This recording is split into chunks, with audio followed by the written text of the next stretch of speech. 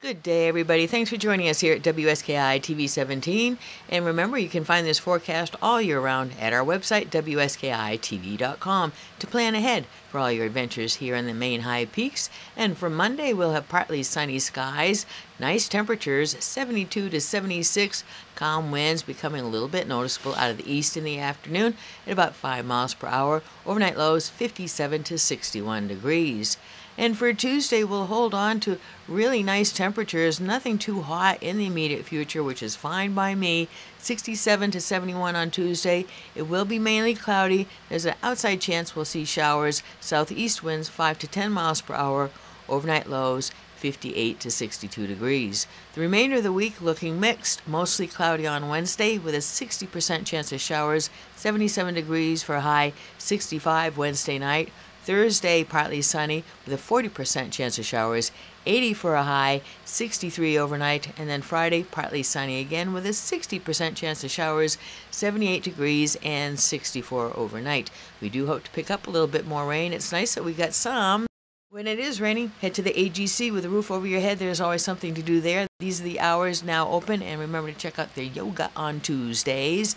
And with that little bit of rain, mountain bike trail conditions are fabulous. The dust is gone for a couple of days. Please pay attention to the closed trail signs, bicycle shop and rentals, and more available at Carrabassett Valley Bike right there at Valley Crossing. Bob's advice is free, and you won't find any anywhere else any better.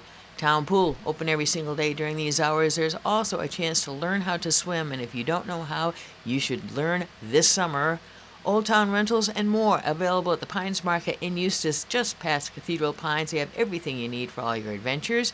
And on the mountain, ice cream is available at D'Ellies in addition to their delicious breakfast and lunch right there in Village West. And in Village Center is the Bag and Kettle with wonderful pizzas, a special summer menu, the place to be. It is a true Sugarloaf institution. Birchwood Interiors invites you to come on in and see what they have. They can also come to see you with a free consultation about what you may want to do renovating this summer.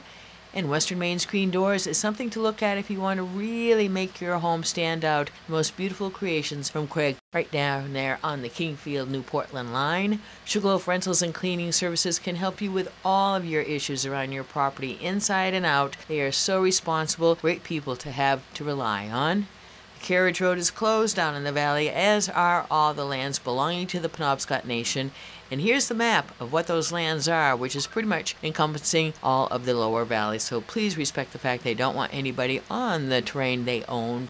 If you want to know before you go, there's nowhere else but WSKI. Turning guests into locals since 1979, we are here so you can know before you go.